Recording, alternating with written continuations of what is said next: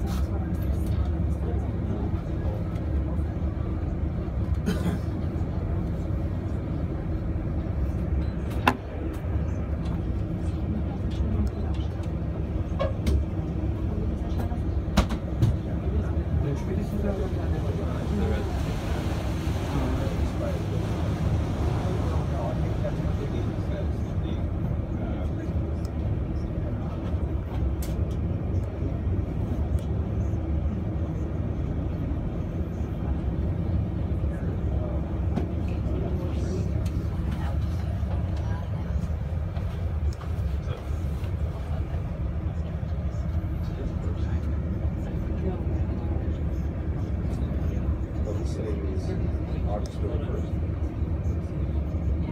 Unless that's to Vegas. That makes more sense to the math.